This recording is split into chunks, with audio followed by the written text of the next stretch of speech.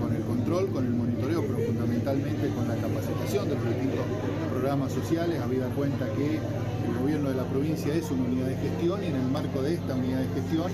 estamos desarrollando capacitaciones con eh, el claro objetivo de poder vincular a los titulares de programas sociales al empleo formal en el marco del sector privado. Esta capacitación obviamente también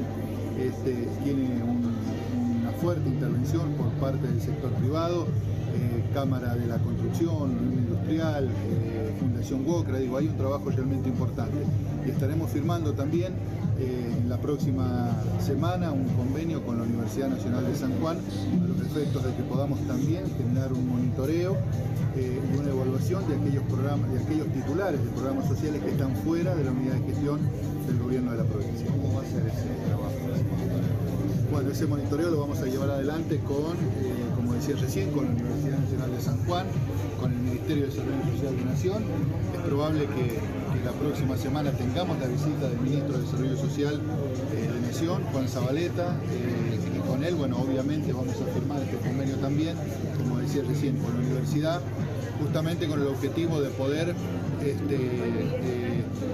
monitorear el desarrollo y las acciones que llevan adelante los,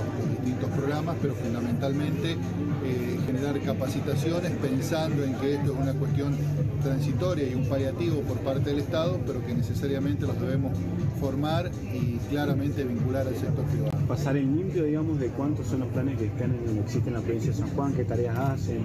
eh, si pueden pasar todos al ámbito provincial. Exactamente, y fundamentalmente establecer un perfil laboral eh, y las capacidades que tiene cada uno de estos titulares. Nosotros ya lo hemos hecho en el marco de lo que ha sido eh, el programa vincular, pero solamente con un universo de 3.500 beneficiarios, que son aquellos que están dentro de nuestra unidad de gestión.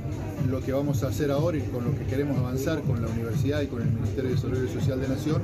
es con los titulares de programas que están fuera de, nuestra unidad de gestión, que entendemos superan los 10.000 beneficiarios. Y también se va a monitorear a quienes están al frente de las organizaciones eh, sociales Este monitoreo tiene que ver pura y exclusivamente con los titulares, pura y exclusivamente con los titulares de estos programas sociales. Y después se dan otros pasos, bueno, se analizarán seguramente, pero hoy el primer eh, objetivo claramente es poder interactuar con el titular del programa social.